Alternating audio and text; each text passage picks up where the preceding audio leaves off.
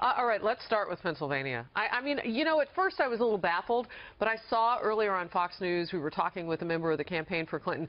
This, they're pouring all their eggs into Pennsylvania because they think if they can stop Trump there, what happens? Yeah, I think they- they're, I would say Pennsylvania and Michigan, right? I mean, they, they seem to be. Well, Michigan's another on- story because of the black and poor vote states. there, but yeah. Well, uh, Trump Trump has targeted Pennsylvania in particular, also Michigan, sort of from the beginning. I mean, his argument has been, I can win this, you know, downscale vote. People are frustrated with the economy in places like Pennsylvania, in places like Michigan.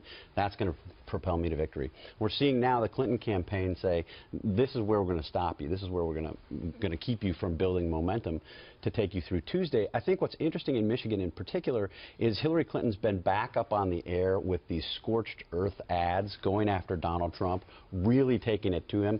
And it suggests to me that there must be something in the polling that they're Mm. seeing, that the Clinton campaign is seeing, to spend as much time as they're spending What there to do be? these kind of ads. I, I think it's fair to conclude that they, they see the race in Michigan in particular. Mm.